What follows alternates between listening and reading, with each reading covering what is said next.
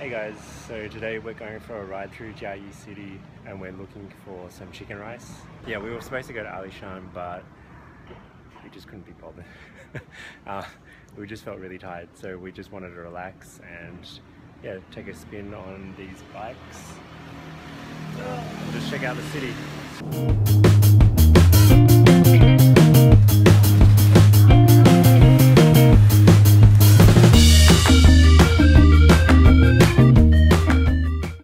This is really dangerous.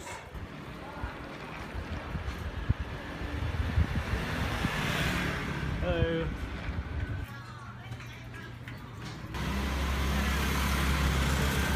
And we finally made it.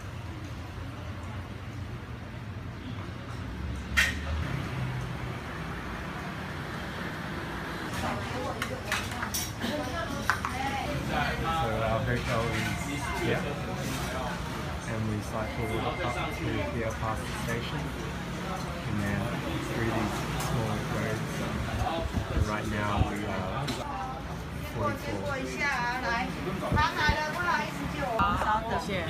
这蘸酱蘸，谢谢，第一件。 Okay, so I got the pieces of chicken and I got the small cheese for chicken Yeah, so it's really big pieces of chicken and this looks like some pickled vegetables and maybe a radish Preserve. preserved radish and some onions. Yeah, so I'm just gonna have a bite and get some of this sauce. It's like a garlic sauce.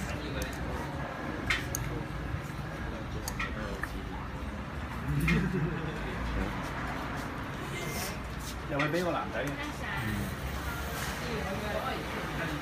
yeah, it's really good.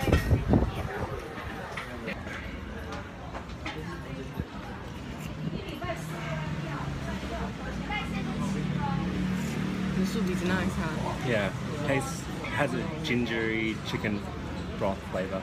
It's really nice. So the rice looks really plain, um, but actually it's really really nice. It's kind of oily and has a lot of chicken flavor. Um, it's kind of like the Taiwanese version of Hainan chicken rice.